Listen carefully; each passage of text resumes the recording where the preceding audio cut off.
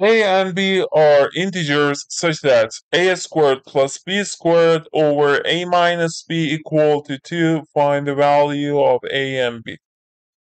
Okay, if we write a squared plus b squared over a minus b equal to 2, we want to get rid of denominator, so we should multiply by a minus b. a squared plus b squared equal to 2 times a minus b. Now, I take all things to left hand side, so it will be a squared plus 2a plus b minus 2a, sorry. Minus 2a plus b squared plus 2b equal to 0 because it had negative 2b. If you take it to left hand side, it will be plus 2b. Now we want to use famous identity that x plus y squared equal to x squared plus 2xy plus y squared. So here, also, if you have minus here, x minus y squared, you should say x squared minus 2xy plus y squared. Now, for using perfect square, I add 1 to this part and subtract 1. And then also for this part, I say b squared plus 2b. I add 1 and then subtract 1 equal to 0. This part is a minus 1 squared. You have negative 1 plus.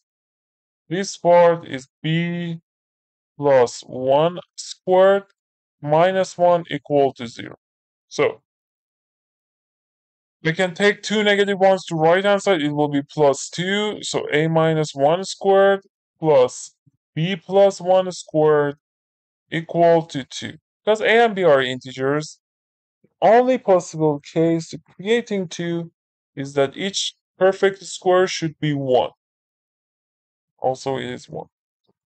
Because of this, we can say a minus 1 should be plus minus 1. Let me write a minus 1 plus minus 1. e plus 1 also is plus minus. So a will be, we add 1 to both sides, can be 2 or 0. And also here, b, if you subtract by 1, 0 or negative 2.